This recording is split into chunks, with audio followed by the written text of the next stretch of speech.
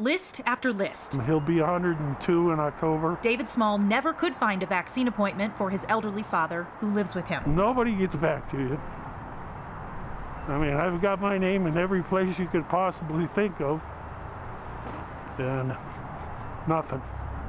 Haven't heard a word. Frustrated with the state of Colorado, Small's brother in Arizona came to Colorado and drove their dad south to Phoenix. My brother called the day they arrived and said, we need to get a COVID test or a COVID vaccine for my father. He's 101.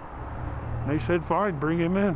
Simple as that. He'll be 90 on March 1st. Joan Harris says her mother, Marilyn, had an appointment, but that got canceled for being too close to her annual pneumonia vaccine. And so we were really sad when we lost that appointment and then have been trying ever since. It has been almost a year since we have been able to hug her. Even more frustrating for these families, there's new competition since Colorado opened vaccine eligibility to additional people. But without those, uh, those doses would likely sit on shelves. And so it's very important that we rapid turnaround, rapid turnaround, every dose used within three days, that we have a sufficient demand.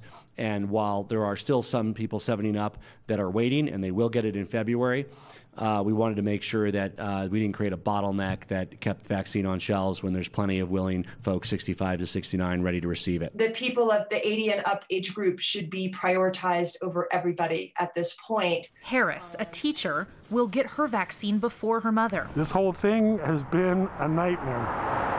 Instead of another two day drive, Small's father, now half vaccinated, is planning a two hour flight home this weekend. He's worried about that too. Makes me very nervous. David is 68 with his own health concerns, now searching for his first shot and his dad's second. We'll wait and see what happens. If nothing happens, we'll go back to Arizona. Jennifer Meckles, 9 News. The state told us it does not know how many Coloradans have left the state to get a vaccine. State did say that it knows of 5,900 people with out-of-state addresses who came here to get one.